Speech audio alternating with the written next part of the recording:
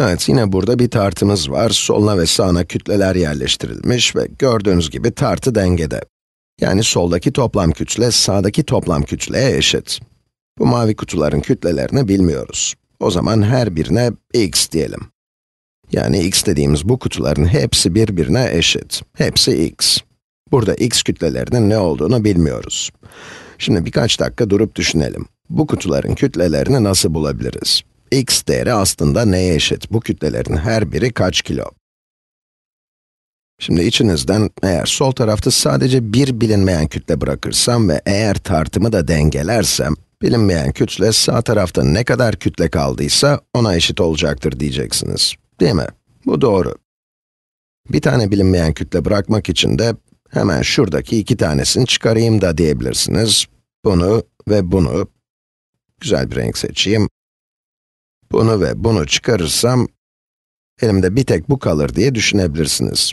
Ama eğer sadece bu iki tanesini çıkarırsanız, tartının sol tarafı sağ tarafından hafif olur, böylece sol taraf yukarı çıkar ve sağ taraf aşağı iner.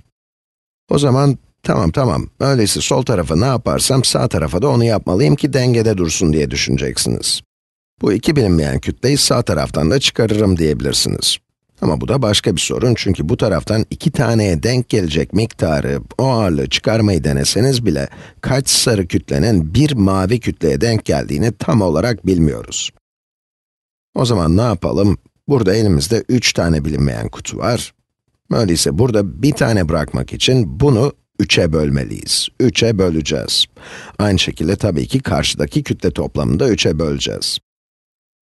Yani bu tarafta buradaki kütlenin üçte birini bırakırsam ve bu tarafta da üçte birini bırakırsam, taraflar eşit olur ve tartı dengede olur. Öyleyse yapalım. Üçte birini bırakmak demek, üçe bölmek demek. Yani 1 bölü 3 ile çarpmak demek. Burada bu tarafın üçte birini bırakırsak, bu kütlelerden sadece bir tanesi burada kalacak. Ve buradaki kütlelerin de üçte birini bırakırsak, bir bakalım kaç tane varmış. 1, 2, 3, 4, 5, 6, 7, 8, 9 tane kütle var. Eğer bunu 1 bölü 3 ile çarparsak, ya da kısacası 3'e bölersek, 9 bölü 3 eşittir 3. Böylece bunları çıkardık, sağda olan kütlenin üçte birini bulduk. Solda da en baştaki kütlenin üçte biri kaldı. Tartı böylelikle dengede olacak. Çünkü toplamları aynı olan kütlelerden eşit miktarı çıkardık. Yani sol tarafta bir tane bilinmeyen kütlemiz kaldı, x dediğimiz ve sağ tarafta da 3 kilomuz var. Bu da demektir ki x eşittir 3. Bu kadar kolay.